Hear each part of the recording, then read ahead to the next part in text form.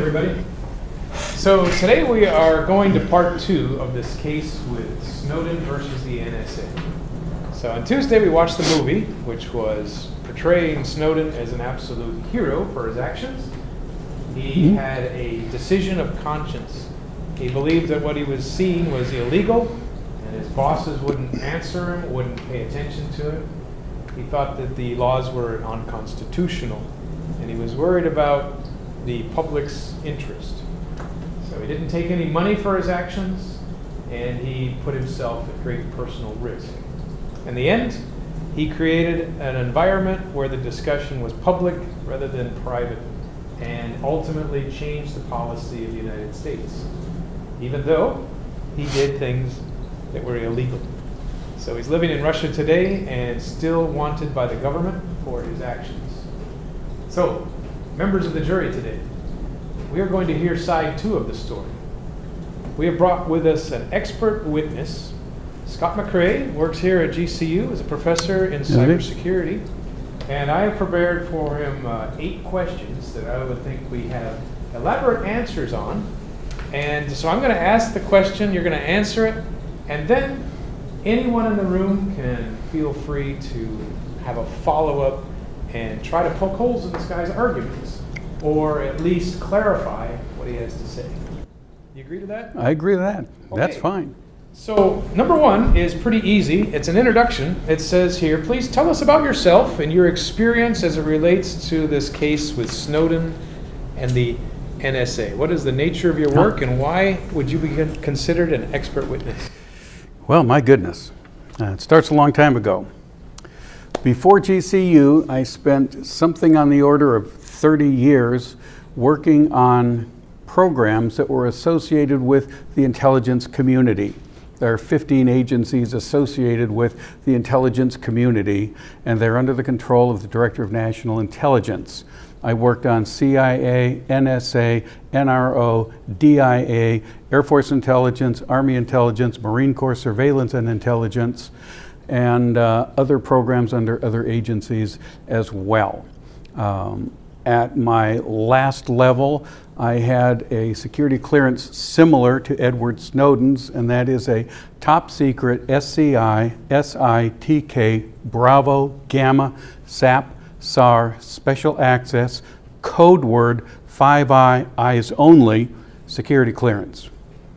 Every time you go up a notch, you stick your little hand up in the air and you promise not to divulge what you're going to learn about because it can have grave consequences to the security of the United States.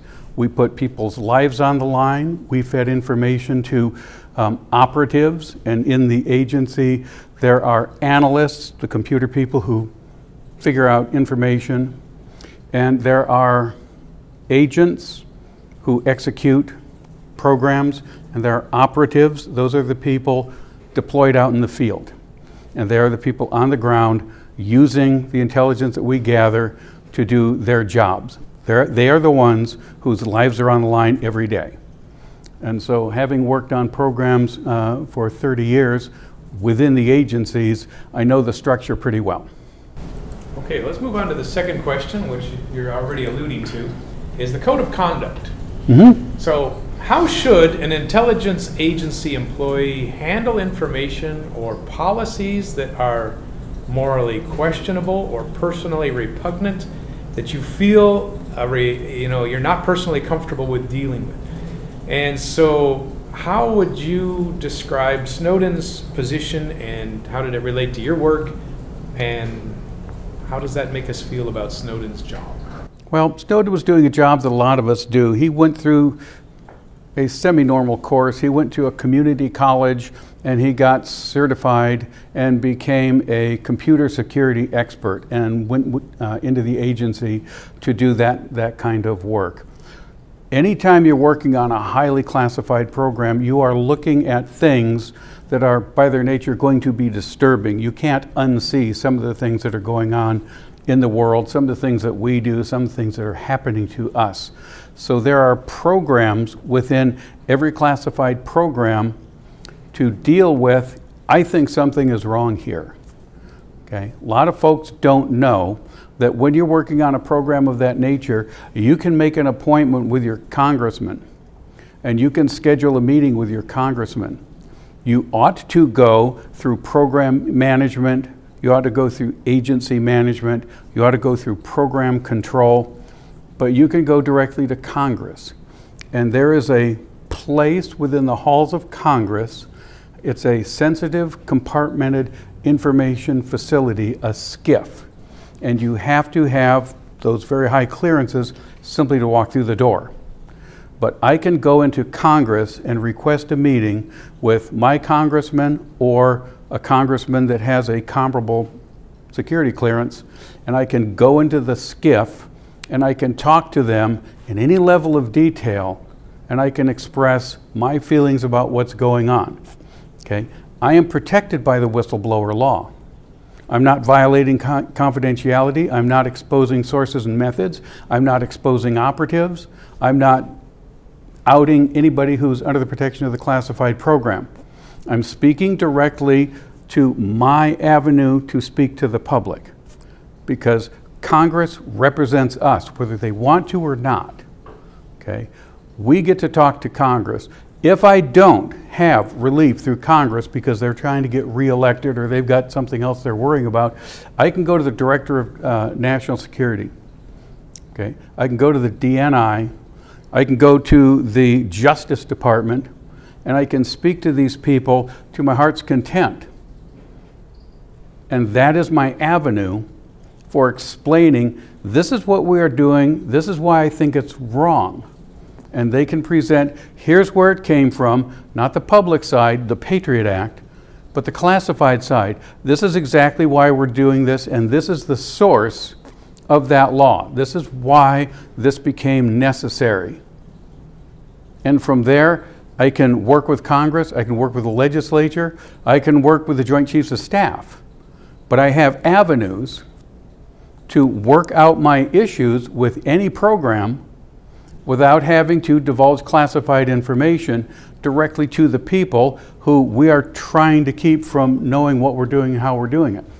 So personally, did you have any kind of uh, situation where you saw things that you personally didn't like, but you did because it was your job?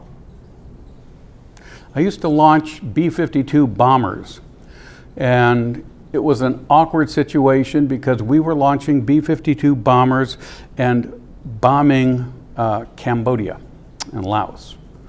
And we didn't know why we were bombing Cambodia and Laos. The Vietnam War was technically over, and we were continuing to run sorties day in and day out and bomb Cambodia.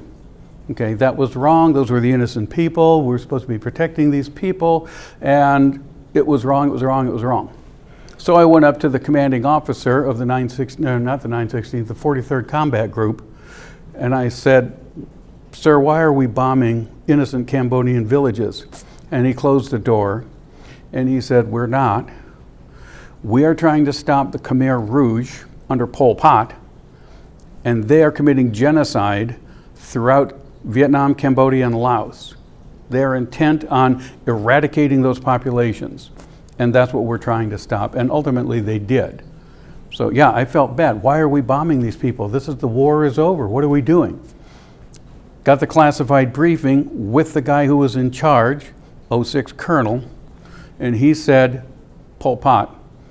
Uh, and then he showed me pictures of Pol Pot's little command center, and it was about twice the size of this room, the entryway to it, covered with the skulls of the people that they had killed, and they had heads on spikes and so forth.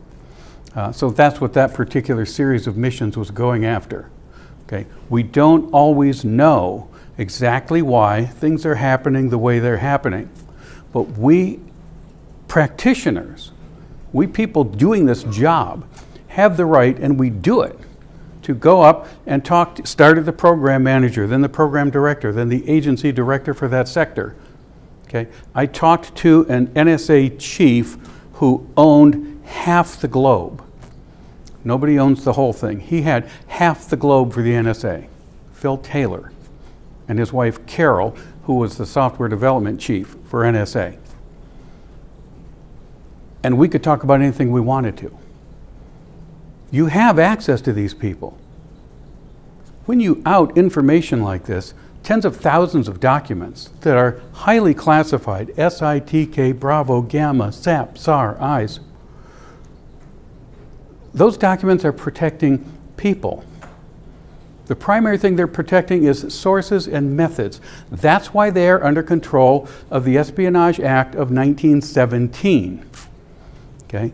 The Espionage Act of 1917 governs distribution of classified information and penalties for doing that. 10 years in prison, lose everything you got, that sort of thing. Okay? We have access to the people who can actually give us answers. When you are absolutely sure that what is going on, this program is bad, you can, number one, let the government know that. Director of National Intelligence, you can speak to them face to face. You can walk off a program and say, I can't do this anymore. I can't do this anymore. You can go to your congressman with all of your classified files. Well, you're not supposed to take them out, but you can bring the congressman in. You can show them the information because they have access and go, this is wrong for these reasons. And then Congress has to act on that. Congress has to make an unclassified record of what they do. How come? Because everything Congress is doing is controlled by and paid for using public funds. Therefore, the American people have access to the basic information. They won't have access to the classified information, but you can make it known that you have raised an objection based on your moral compass about a particular program a particular set of events that are taking place, the Snowden stuff, and you can get it on the public record. You then point to the public record, the unclassified components, and you can raise the flag as high as you want. You can point and scream and beat a drum and start a fire and march on Washington. You can do that without violating your oath. Would, another uh, follow up to oh. that. I think you started to allude to this. It mm. says, uh, here, explain to us the consequences uh, you know, what's the fallout from a decision to share information to the public or to an his consequences are trivial by comparison. He is a traitor. Uh, he violated hundreds of oaths. How about the consequences that his actions occurred on other people?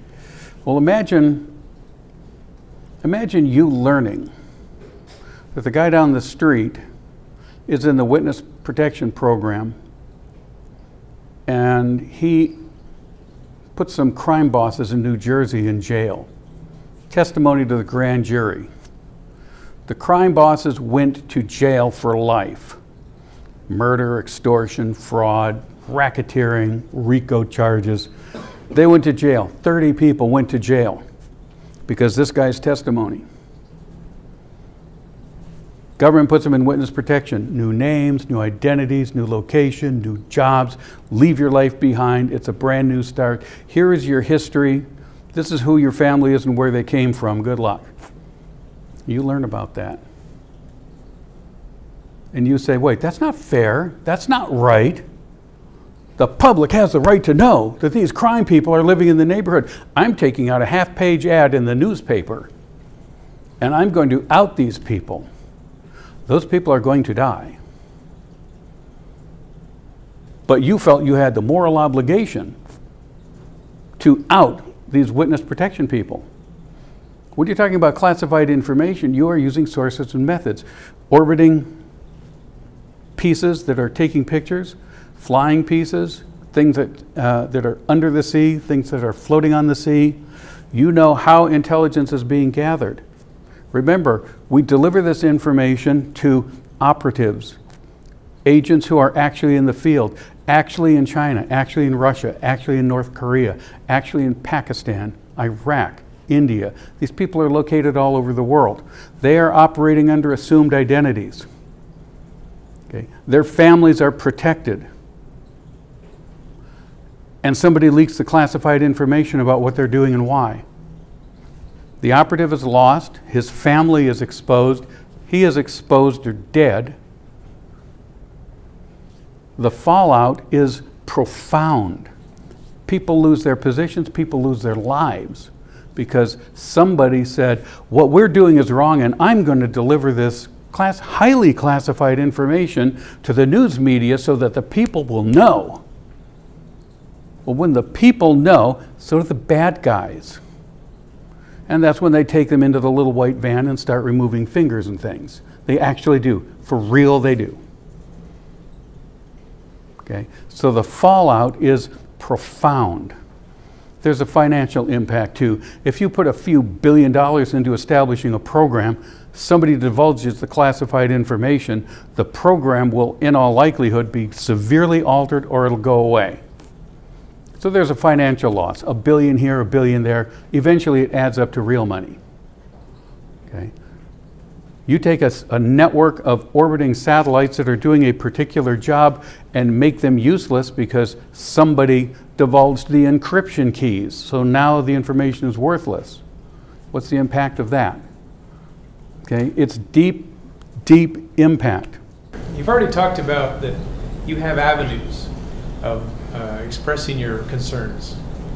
So Snowden said he took his case and his information to professional journalists, okay? He didn't just say It's an oxymoron. I am going to I'm not going I'm going to send this to WikiLeaks. What he did instead, he says I want to take professional journalists who will then run it past the White House mm-hmm. and say, is there anything in here that we are going to say and publish mm-hmm. that will actually compromise anyone's life or put them in danger?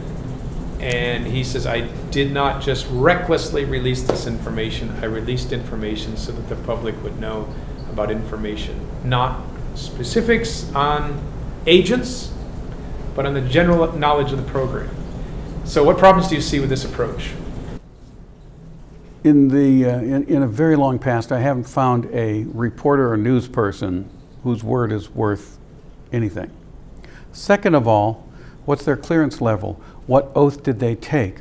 What access have they been granted? What promise have they made to the people who are doing this job? None. Okay? These are the very people that we swear not to give information to. News uh, in news reporter, journalists are going to filter and organize the data. Where is the insurance in that? The only skin they have in the game is increasing circulation, making their name bigger in the media, becoming more important, generating income for their, for their news agency. That's their priority. Their priority is not protecting guys driving tanks in Iraq. That's not their thing. If the, if the tanks get blown up, they have another news story. They have a counter argument that a free press is the only sure counterbalance to an abusive government. A free press, and this is why my dad got out of the uh, news business. He was an editor of a newspaper. My grandfather was the editor of a newspaper. My great grandfather was the editor of the newspaper. And my dad left because freedom of the press was intended to be responsibly administered by responsible citizen journalists, and we have gotten away from that. A journalist will now divulge anything to anybody if it will make a bigger story. And that's why my dad got out. He says, We have gone from journalism to what we used to call yellow journalism. The press is in place to keep the government in check. It is the public's eyes into the operation of the government. If anybody has watched the news lately, you may have noticed a wee bit of bias. Okay? Some information is being presented very, very skewed or very narrowly reported while ignoring other components. Doesn't matter which side you're on. Okay? The reporting has become sensational. We don't have news reporting nearly as much anymore as we used to. We now have opinion news. It's presented as the evening news, but it's not. Sean Hannity presents a very narrowly focused conservative side And there are vast pieces of news that don't get reported. MSNBC, I don't remember, I don't know who all these people are. People watch this stuff. Um, they present supposedly the same information, vastly twisted to be the exact opposite.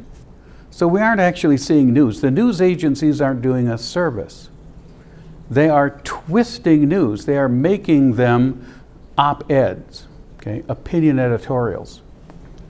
And that's what we are getting. And when you hand tens of thousands, hundreds of thousands of classified documents from sources and methods intelligence to the news people, I don't care what they say. Personally, my opinion, I don't care what they say.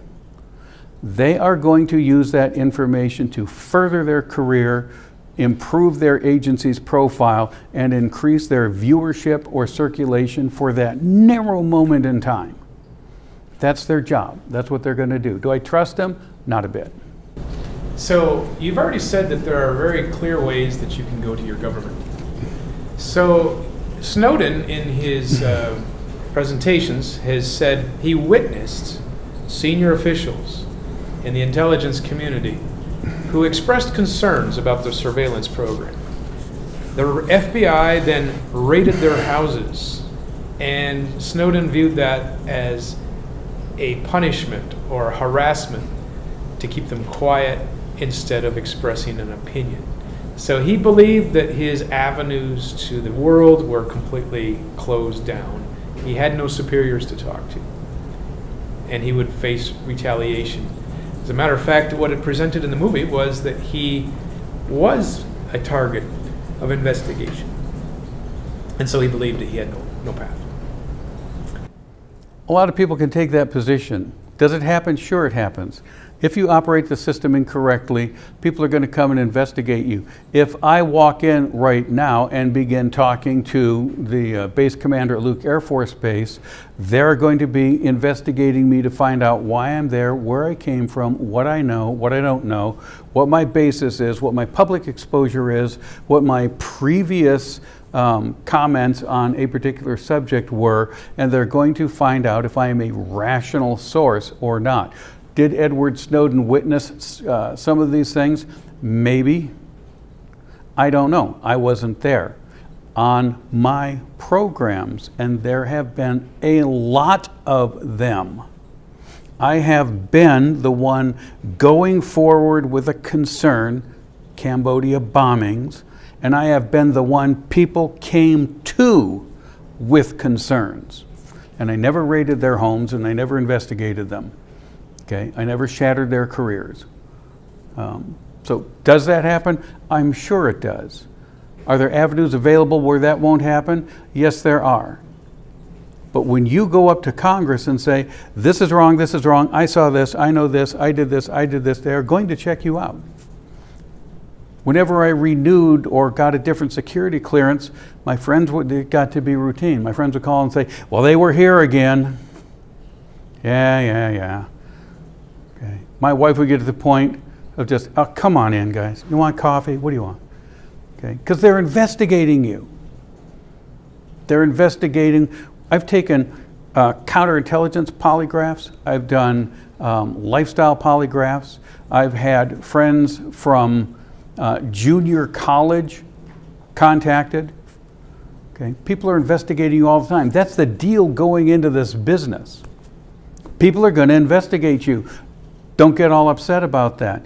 It's a system. It's different than high school, college, university, whatever. The system is different. You're in the very deep water now. You're working with international intelligence agencies.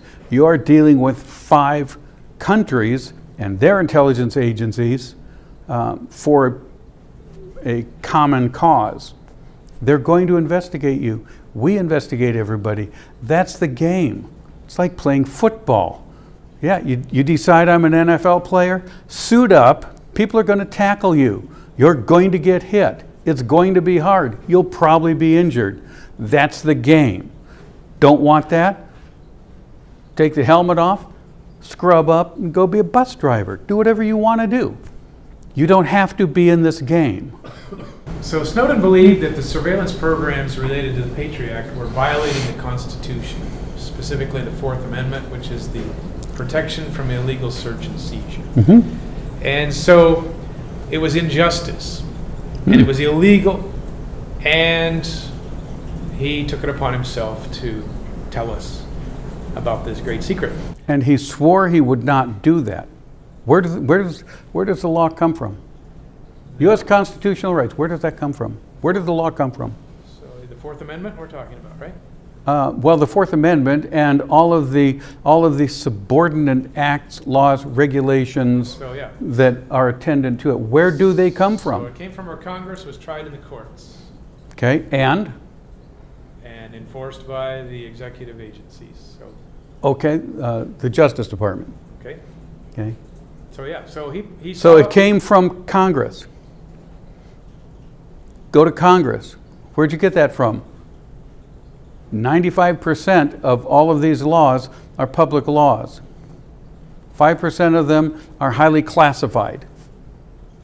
Are we in a society now where your word means nothing? Are laws always optional? I'll obey those laws, but I won't obey these laws. These laws I object to, so I won't obey those laws. I want to drive on the opposite side of the road because I feel it's improper. I think England's got it right and we've got it wrong. So I'm going to ob- disobey those laws. This one I'll pay attention to.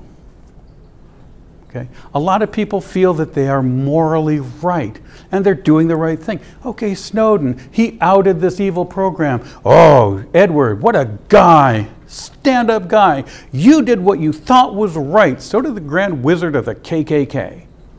This is right for the country. So do the skinheads. So do the Sons of Anarchy. They think they're doing the right thing for the people. So did Pol Pot. So did uh, Heil Hitler. We're going to do the right thing. These gypsies are horrible people. Let's exterminate them. It's for the betterment of society. But, sir, there are laws against that. We know what's right. We know what's right. The laws that are before us were made wrong. We are indeed a society of laws. The entire nation is built only upon laws. Yes, it's the Federalist Papers. Yes, it became the Constitution. Yes, it became the Bill of Rights. Now we've got amendments.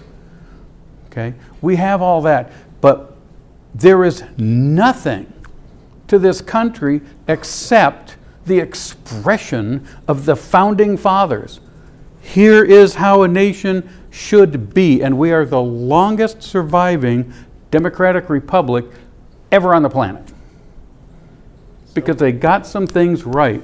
I want to take another question that's related to what you just brought up. Okay? So, in Snowden's life and in his conversation that we witnessed was the, the idea that sometimes a job becomes criminal. So, he gave the example of the Nuremberg trials, Great. where the first round of trials condemned the senior leadership. The second round of trials was about the bureaucrats. It was the prison guards. It was the train drivers. Sure. And they knew what they were doing, but they were following orders. Yeah. It was- Eichmann, little Eichmanns. Yeah, little Eichmanns. They were, they were only doing it out of fear. I was just they, following orders. They were probably going to get shot if they didn't do it. They would have been shot. And so they were following orders against every moral code that they knew.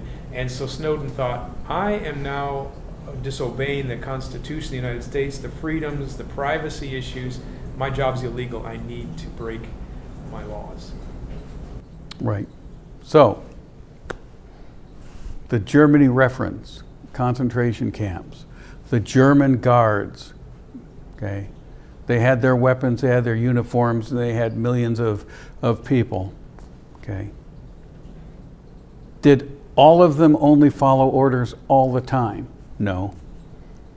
They snuck in what little food they could and got it to the prisoners when they could. Yeah, if they had said, this is absolutely wrong, they would have been shot on the spot, and they knew it. Okay. Did the Eichmanns of World War II, the Third Reich, that they lived, they lived under, if you resist, you'll be shot. I mean, on the spot, walking down the street, in the head, bam, They don't even pick up the body, they just march on. Under those conditions, could the people who said, this is wrong, could they go to their Congress? Could they go to their head of state? Could they go to the police? Could they go to anybody and seek remedy? They could not. At that point, they become imprisoned just like the prisoners they are guarding because if they don't do what they're told, they will be dead. Their families will be dead. And they'll be tossed on the pile of bodies and burned with the rest of them. Okay, so that's extreme. Okay, so Snowden is not living under a Nazi dictator. Well, he said similar to genocide Similar. programs in World His- War II. His execution will be, uh, you will be terminated, you will be blacklisted, you might go to prison. And so he says, I'm going to just dump the information and run. I'm going to go to the Russians because I think I'll be safe there. And I don't believe I'll have a safe trial in America. I will never come back until they promise that they will listen to my side of the argument. Right, because he knows he's a traitor, he knows he violated his oath, he knows the Espionage Act of 1917, he knows what he did was foundationally wrong. He knows that what he did was counter to everything he ever promised. And somewhere in his dark little soul, he knows that he could have gone another way. And he, we say, well, he's not getting any money for this. He didn't sell this stuff. He's living in an apartment. He's got three hots and a cot, transportation, living in Russia. He's using the currency of stolen classified information just as if it were money because his life is being paid for. His whole existence is based on the value of the classified information he still trades in as currency. What do you think Russia's going to do when the value of his currency is no longer enough to bother with?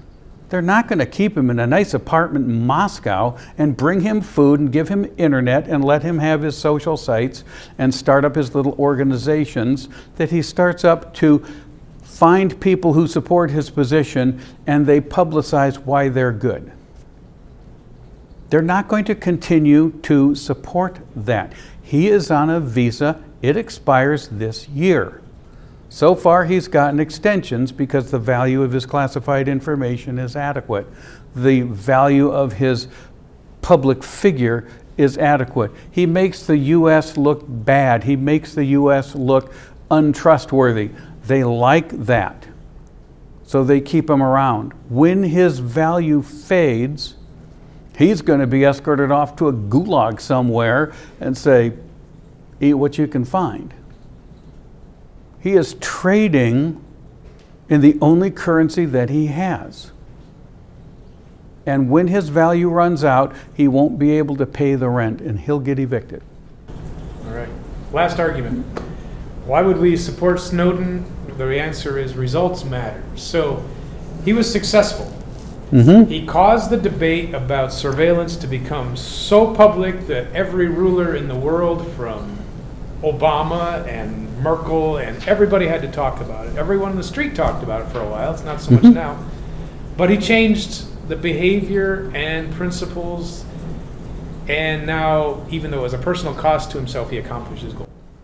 Great. So the guy who was standing on the balcony with all of his little firearms and his bump stock, and he opened fire on the concert and killed people, he raised the consciousness about gun control. He raised the consciousness about what do we do about traffic and firearms. He raised the uh, argument about how do you get weapons into a hotel and how come there's no checking. This is something that needs to be considered. Let's all talk about it for two and a half months, and it's gone. So, did he raise consciousness? Yes, but at what cost? At what cost? Did he change our behavior? Uh, do we no longer continue surveillance on a massive scale, or is that just now not something we talk about and we still do it? I'll refer you to um, anything in the press about surveillance that we do currently. I, I don't know what it says in the press. Tell me, tell me what's in the press. The U.S. is, is continually engaged in surveillance activities in accordance with international laws. So we have continued the process as it was I suppose. Yeah, I, I don't know. so we're, we have I don't know these things. So the, so the argument, I forgot. his results were short-term. Uh, his results were nil and they were noise. They were noise in social media, in the press, on TV around the world. Within the agencies, if I were guessing, I would guess they didn't have a significant impact. Reactions from you guys? Questions? Oh, um, inside the movie, and I know it's like politicized because it's media and stuff, but they show a spy that um, you, he found intel on something, and that spy used that intel to try to get um, financial advantage over someone. So like, um, the guy was rich, I think. I didn't really understand that part, but he had a daughter, and that daughter had a boyfriend, and that boyfriend was illegal, I guess, and deported.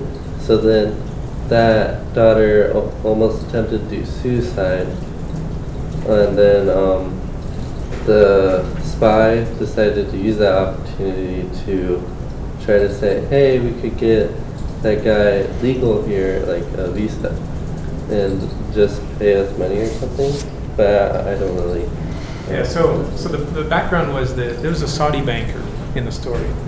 And they believed that he was uh, dealing with dirty money with Al Qaeda.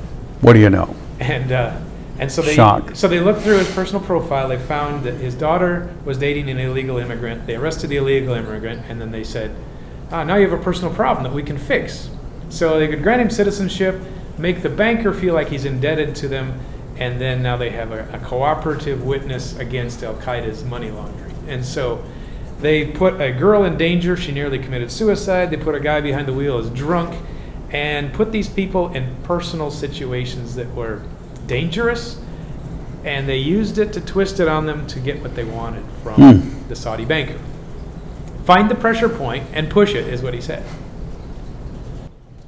That is part of tradecraft um, within certain segments of agencies similar to CIA. And many times, especially from the outside, they seem very unfair, very unpleasant, very mean, um, and that is true. Those are reviewed by Director of National Intelligence constantly. And in theory, they are within the limits that are necessary to ensure that certain operations continue and we gather information that we can use to thwart enemies. Okay? I didn't spend a lot of time in operations of that level because it ain't my thing. I'm a, I'm a tech person. There are people who do that job.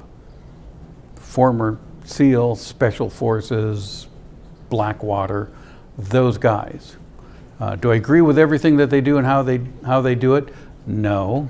Have I raised that concern? Yes. Have I raised that concern way up through the government? Uh huh. Okay. And at that point, I have to, I have to leave it, but I do know that a lot of that operational methodology is well known uh, within the general public. Is all of it accurate? No. Is some of it accurate? Some of it is. Okay. Is it a monstrously unpleasant component? Yes, it is. And the unfortunate reality is we are all highly civilized people. We are high thinkers. We are in the university. We are expanding our minds. That's great. That is the type of society we are in. That's where we live. Unfortunately, many parts of the world, political incorrectness, uh, I'm sure, there are still a lot of folks who are basically barbarians. Okay? They're going to raid your village. They're going to burn your women. They're going to burn your village. They're going to mutilate people. They're going to do that so that they can take over your rice field. Okay? They are not going to come and sit at these tables and have intellectual exchanges and look at things from all sides. They're going to pick up whatever weapon they can and they're going to conquer what's in front of them. That's the unfortunate reality. Do we have to deal on that level? Yes, from time to time we do. Okay. We have folks who are planted in, in outlaw biker gangs. We have folks that are, are planted in tribes in the mountains of the Middle East. Okay? They do things vastly differently to us in this room, in this society, from our families. It is barbaric, it is repugnant, it is evil, it is horrible, it is their normal. And if you want to affect change within their normal, if you want them to not attack more villages, you have to operate within their normal. Okay? I don't, I don't like to drive a flaming bus full of explosives. But if I have to, that's going to be my operating environment. It is not pleasant. It's terribly dangerous. It's horrific. People can be killed. It's not my operational environment. But if that's the environment I must enter to do a greater good, then I will. Okay? I don't choose to. But I did. I did stay out of that. I've worked with those folks. We got them information. We got them satellite imagery. We got them technology. We allowed them to be able to have situational awareness, to communicate with one another, to communicate back to the world. Okay. We provided the technology. Um, but I didn't go on the ground and cut off people's fingers and things like that. Okay. Sorry. I've got another one that I think we've talked about in a personal conversation. It's about the idea of nuclear war. Mhm. So nuclear weapons have been around and have been a moral question ever since the first bomb exploded. Mhm. So the Rosenbergs Mhm. famously said the United States cannot be trusted to be the only nuclear superpower, and we are going to help Russia develop their bomb. Mhm. Which they did. In another sense, in your B 52 experience, it's a nuclear weapon launching vehicle. What kind of exposure could you have done to say, I don't believe in nuclear war, I'm going to out certain information, and what would it have been, and what, what could it have done?